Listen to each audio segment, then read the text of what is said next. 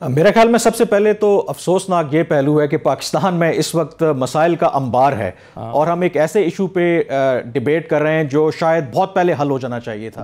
اس سلسلے میں یقیناً اسلام کے اندر مختلف رائے ضرور ہیں رویت کے حوالے سے۔ لیکن شاید پاکستان کے علاوہ تمام ملکوں میں جو مروجہ طریقہ کار ہے اس کے مطابق لوگ ایک ہی عید کرتے ہیں ایک ہی دن روزہ رکھتے ہیں۔ پاکستان میں تاریخ اگر اٹھا کے دیکھیں تو شاید بہت سے لوگوں کو لگتا ہوگا کہ جب سے یہ پرائیویٹ ٹی وی چینلز آئے ہیں سوشل میڈیا آیا ہے اس وقت سے یہ کانٹروورسی ہوئی ہے۔ تاریخ اٹھا کے دیکھیں تو سب سے پہلے یہ تنازع انیس سو نائنٹین ففٹی ایٹ میں ہمارے سامنے آیا پاکستان میں جب دو عیدیں منائی گئیں۔ کیونکہ جو روحت حلال کمیٹی تھی اس وقت اس کے فیصلے کو پشاور کی ایک کمیٹی نے ماننے سے انکار کر دیا۔ اور سب سے مزے کی بات یہ ہے کہ نائنٹین سکسٹی ون میں جب جنرل ایوب کا دور تھا اس پاکستان میں تین تین عیدیں منائی گئیں۔ جی۔ کیونکہ جنرل ایوب کی حکومت نے پہلے فیصلہ کیا عید کی عید کا اور پھر اس فیصلے کو واپس لے لیا۔ تو کراچی میں کچھ لوگوں نے روزہ رکھا باقی ملک میں کچھ لوگوں نے عید منائی اور ہاں۔ پشاور میں لوگ ایک دن پہلے ہی عید منا چکے تھے۔ اسی طرح سے پھر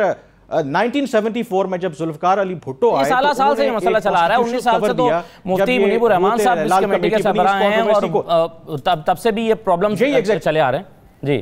وہ سالہ سال سے ہو رہا ہے بالکل۔ جی جی اسد صاحب اب جو ایشو بنیادی طور پر یہ جی جی ایشو بنیادی طور پر ابھی جو انیشیٹو لیا ہے فواد چودری صاحب نے کہ اب کمری کیلنڈر کے ذریعے اگلے پانچ سال کا تعین انہوں نے کر دیا ہے۔ ہاں۔ اس میں ابھی بھی چیزیں واضح نہیں ہیں۔